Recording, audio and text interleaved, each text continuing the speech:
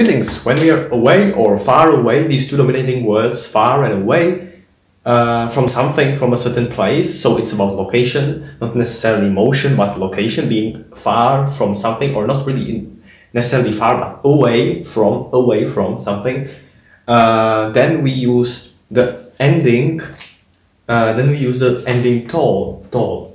Uh, it appears in different instances. Uh, slight changes to the uh, vowel in the middle happen, but that's not a very crucial thing about it. In general, uh, if you use this one all the time, it will be understood. Sometimes uh, you uh, intuitively find throughout your learning process that it changes uh, as far as the middle vowel a little bit, but is not really important for the meaning, just for um, choosing the right option for the right word. But uh, you will understand because you will be looking for something like this and when you are faced with a noun that has a little different form than this, you know it still has the same to meaning away from something, but but with that particular noun for sound and uh, harmony uh, reasons it was changed this suffix. So this suffix is added to noun, so you want to say away from something.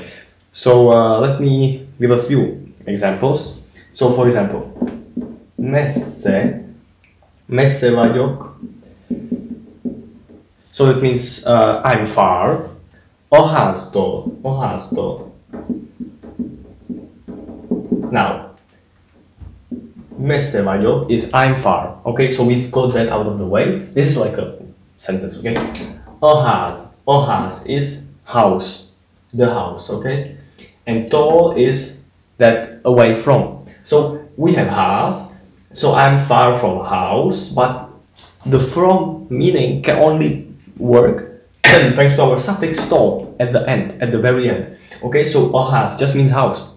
And you cannot just say, because there's no from preposition uh, right here. You have to use this suffix and put the to at the end of, attach this to to the house word, to the ház, to create uh, far um, away from house, out of just house. That's the entire thing. You had house, ház, which means house, and you created ház tól and it means from house. Away from house okay? From house is yet another different case but away from house. So not uh, necessarily like motion away from but it's location not uh, at the house okay? Location away from the house. Not directionally but uh, locationally okay? So house tall thanks to this this means away from the house not in the vicinity of it. So that's it for the first example and the second one again we'll be using this store suffix is uh, távol távol van van a fától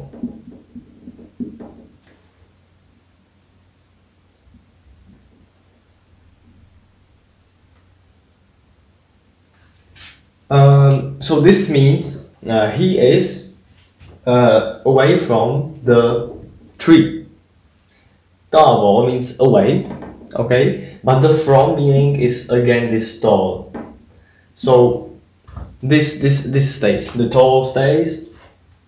Added to this noun fa, which is tree. Fa fa just short fa is tree. When uh, added declinated and the suffix is added, the fa becomes long like this.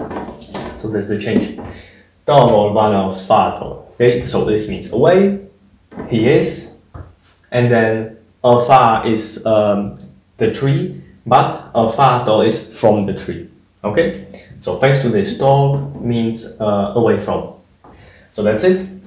Uh, it's about location, away from something, to which, to the word expressing which, you add the tól suffix to uh, indicate it.